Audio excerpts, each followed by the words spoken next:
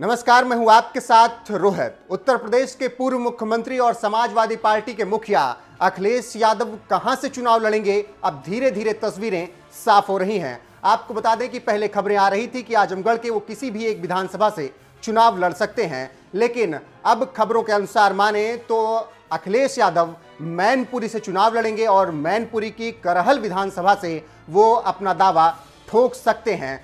आपको बता दें कि ये खबरें लगातार आ रही हैं कि अखिलेश यादव मैनपुरी की सीट करहल से लड़ सकते हैं, जो कि सिफई के नज़दीक है और जहाँ पर समाजवादी पार्टी का दबदबा बहुत लंबे समय से चला आ रहा है। आपको बता दें कि करहल विधानसभा पर पिछले तीन बार से समाजवादी पार्टी का प्रत्याशी ही जीतकर विधानसभा पहुँचता रहा है। मैनपुरी ज़िले की करहल विधानसभा उत्तर प्रदेश की एक बहुत ही महत्वपूर्ण सीट भी मानी जाती है। इस सीट पर समाजवादी पार्टी का वर्चस्व साल 2007, 2012 और 2017 लगातार तीन बार विधानसभा चुनाव में देखने को मिला है और यहाँ से लगातार तीनों बार समाजवादी पार्टी जीतती आई है।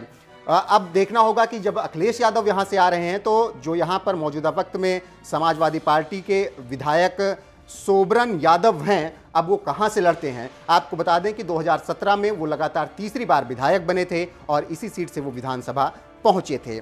और उन्होंने यहाँ पर कुल मिलाकर अच्छे खासे मार्जिन से जीत हासिल की थी और बीजेपी के राम साक्य को उन्होंने मात दी थी 2017 के चुनाव में। इसके अलावा उससे पहले भी वो दो बार लगातार जीतते रहे हैं। एक बार उन्होंने बीएसपी को 2012 में बीएसपी के प्रत्याशी को हराया था। इसके अलावा उन्होंने हज़ार सत्रह में बीजेपी के प्रत्याशी को हराया। मतलब यहाँ पर समाजवादी पार्टी का एकदम रुतबा रहा है और कहा जाता है कि सोबरन सिंह यादव, जो कि यहाँ से विधायक हैं, उन पर मुलायम सिंह यादव का बहुत ज़्यादा सपोर्ट रहा है और उन पर मुलायम सिंह यादव का बहुत लंबे समय से हाथ रहा है और इसीलिए वो इस विधानसभा सीट से जीतते आए हैं।